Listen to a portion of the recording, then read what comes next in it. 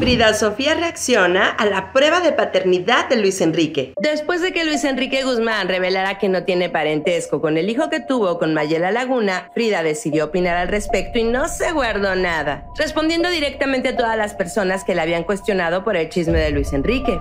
Aquí mi respuesta formal para todos los que siguen jodiendo de qué opino del Nini, la prueba de ADN, la herencia, bla, bla, bla.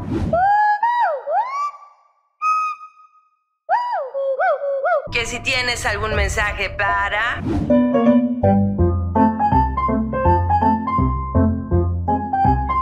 Una vez más, Frida Sofía se convierte en tendencia, señores. No podemos olvidar que en su momento ya nos había dado una probadita del tipo de persona que su tío Luis Enrique. Al final es un mantenido, güey. O sea, para que veas, él sí no hace nada.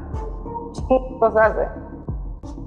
Incluso en su momento lo llamó muerto de hambre por el supuesto robo que habría hecho a su propia madre Silvia Pinal entre joyas y obras de arte de alto valor. Un plan estratégico que Luis Enrique armó junto a su esposa Mayela Laguna, misma que ahora le ha dado un tremendo golpe bajo al descubrir que no es el padre biológico de Apolo. Él es la, la definición perfecta de un pinche gato. Es un pinche gato muerto de hambre. Es importante mencionar que el Nini, como lo llama Frida, ha enviado un comunicado de prensa dejando claro que se deslinda de cualquier responsabilidad económica con Apolo, ya que ahora no hay ningún vínculo biológico que los una más que cariño. Quiero ser para él el mejor papá que puedo. Sin embargo, esta reacción de Luis Enrique ha generado opiniones divididas en redes sociales, pues muchos dudan que realmente ha llamado a su hijo como tanto decía ya que ahora simplemente decide apartarse después de haberlo creado durante tres años de su vida. Por otro lado, te cuento que Mayela ya reaccionó al comunicado de su esposo asegurando que el ADN que realizó Luis Enrique pudo haber sido manipulado, pues no se hizo bajo lineamientos jurídicos correspondientes. Diciendo que el menor hijo de la representada fue reconocido legalmente por el señor Guzmán Pinal